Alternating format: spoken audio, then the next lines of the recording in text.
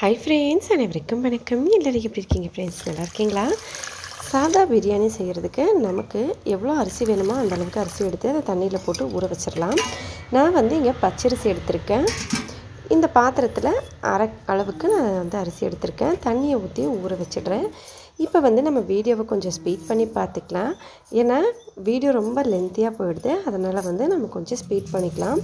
First அடுப்பு மேலே பாத்திரம் வச்சு அதில் சோம்பு அதுக்கப்புறம் பிரியாணி இலை பட்டை ஸ்டார் கிராம்பு இந்த மாதிரி நம்ம பிரியாணி செய்யும் போது என்னென்ன ஸ்பைசஸ்லாம் ஹோல் ஸ்பைசஸ் ஆட் பண்ணுவோமோ அது எல்லாத்தையுமே நம்ம எண்ணெயிலேயே ஆட் பண்ணிக்கலாம். பொதுவாகவே பிரியாணினா நிறைய பேருக்கு ரொம்ப பிடிக்கும்.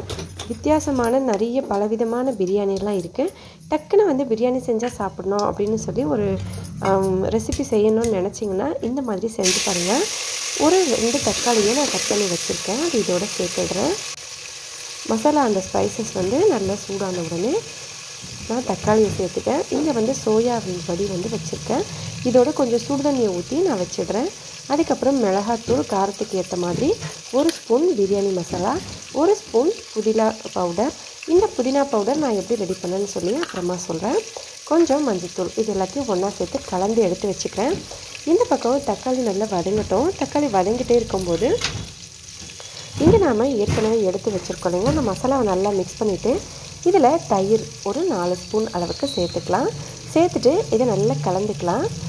இந்த புளிப்பு இல்லாத தயிர் உங்களுக்கு புளிப்பு இல்லாத தயிரை பார்த்து நீங்கள் சேர்த்துக்கோங்க. ஒருவேளை ரொம்ப புளிப்பாக இருந்தால் அதை வந்து ஆட் பண்ணாதீங்க. நல்லா ஒரு நாலு ஸ்பூன் தயிரை எடுத்து மசாலாவோட நல்லா கலந்து இந்த தக்காளியோடு சேர்த்து நல்லா வதக்கிக்கலாம். தயிர் வந்து ரொம்ப ரொம்ப நாள் தயிராக இருந்தாலும் இல்லை புளிப்பு அதிகமாக இருந்தாலும் மிக்சியில் போட்டு நல்லா அரைச்சிட்டு அதுக்கப்புறமா நீங்கள் ஆட் பண்ணிக்கோங்க. நான் வந்து வீட்டிலையே செஞ்ச தயிர் நான் நைட்டில் ரெடி பண்ணி காலையில் யூஸ் பண்ணுறதுனால நான் வந்து அப்படியே ஆட் பண்ணியிருக்கேன் இதை நல்லா போட்டு இந்த மாதிரி கலந்து மசாலா எல்லாம் நல்லா எண்ணெய் தெளிஞ்சு வெளியே வந்த உடனே சோயா வந்து நம்ம எடுத்து வச்சுருந்த தண்ணியில் போட்டு அதை வந்து நல்லா புழிஞ்சிட்டு இதோட சேர்த்துடலாம். எல்லாத்தையும் இதில் ஆட் பண்ணிக்கலாம். எல்லாத்தையும் இதோட ஆட் பண்ணிவிட்டு கூடவே கொஞ்சம் மஞ்சத்தூள் சேர்த்துக்கலாம். உப்பு சேர்த்துடலாம். நல்லா ஒன்றா கலந்துட்டு இந்த மாதிரி தக்காளி வந்து முழுக்க முழுக்க பேஸ்ட் ஆகணும். அந்த அளவுக்கு நம்ம வந்து இதை வதங்கி விடணும் இதை வதங்கும் போது என்ன ஆகும்னா நமக்கு அந்த மசாலாவோட சோயாவும் நல்லா சேர்ந்து நல்லா சாஃப்டாக வெந்து வந்துடும் இந்த மாதிரி வந்து அப்புறமா இதில் கொஞ்சம் கலர் பவுடர் சேர்த்துக்கலாம். பிரியாணினாலே கொஞ்சம் கலராக இருக்கணும்னு ஆசைப்படுவோம்ல. அந்த மாதிரி சும்மா ஜஸ்ட்டு நான் வந்து பீட்ரூட்டில் ரெடி பண்ண நேச்சுரலான கலர் கொஞ்சமாக சேர்த்துருக்கேன் ஏன்னா லைட்டாக சேர்த்தாமல் இது கொஞ்சம் டார்க் ஆயிரும் இல்லையா? அதனால் இப்போ இந்த மாதிரி நல்லா வதங்கிருச்சு. எண்ணெய் தெளிஞ்சு மொத்தமாக வெளியே வந்த அப்புறமா இந்த அரிசியை இதில் சேர்த்துக்கலாம். நான் வந்து என்ன செஞ்சுருந்தேன்னா இந்த அளவுக்கு அரிசி சேர்த்துருந்தேன்.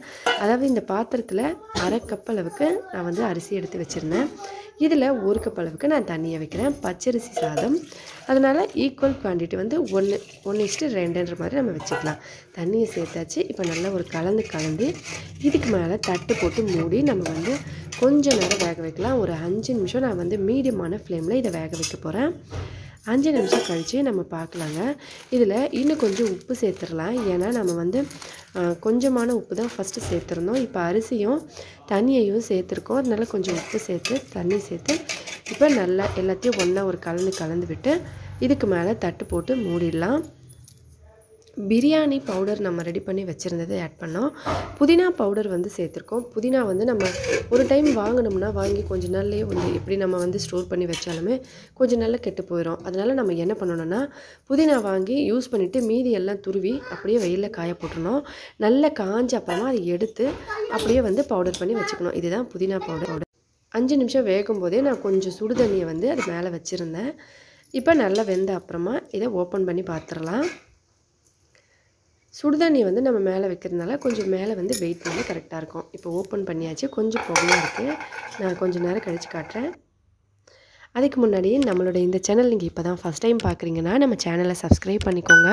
வீடியோ பிடிச்சிருந்தா லைக் பண்ணி உங்கள் ஃப்ரெண்ட்ஸுங்களுக்கும் ஷேர் பண்ணுங்கள் ஃபேஸ்புக்லேயும் இன்ஸ்டாகிராம்லேயும் ஃபாலோ பண்ணிக்கோங்க. இது ஃபேஸ்புக் ஐடி அதுக்கப்புறம் இன்ஸ்டாகிராம் ஐடி நான் இதுக்கப்புறம் வரேன். இந்த ஸ்க்ரீனில் பார்த்துக்கோங்க. இதுதான் நம்ம இன்ஸ்டாகிராம் ஐடி மறக்காமல் ஃபேஸ்புக்லேயும் இன்ஸ்டாகிராம்லேயும் ஃபாலோ பண்ணிக்கோங்க. இப்போ பிரியாணி பாருங்கள் எவ்வளோ சூப்பராக இருக்குது நீங்கள் ட்ரை பண்ணி பாருங்கள் ட்ரை பண்ணி பார்த்துட்டு மறக்காமல் கமெண்ட்ஸில் எப்படி இருந்ததுன்னு சொல்லுங்கள் விரத நாட்களில் கூட நீங்கள் வெங்காயம் பூண்டெல்லாம் சாப்பிடாதனால கூட இந்த மாதிரி செய்யலாம். கண்டிப்பாக ட்ரை பண்ணி பார்த்துட்டு மறக்காமல் கமெண்ட்ஸில் எப்படி இருந்ததுன்னு சொல்லுங்கள் ஃப்ரெண்ட்ஸ் செம்ம சூப்பரான டேஸ்டியான பிரியாணி ரெடி ஆயிடுச்சு ஒருவேளை நீங்கள் புதினா வச்சுருந்தீங்கனாலும் புதினா வந்து யூஸ் பண்ணி செஞ்சுக்கோங்க. புதினா இல்லாத பட்சத்தில் இந்த மாதிரி செய்யலாம். மறக்காமல் ட்ரை பண்ணி சொல்லுங்கள் ஹெல்த்தியாக சாப்பிட்டு சந்தோஷமாகவும் சேஃபாகவும் இருங்க. நன்றி வணக்கம்.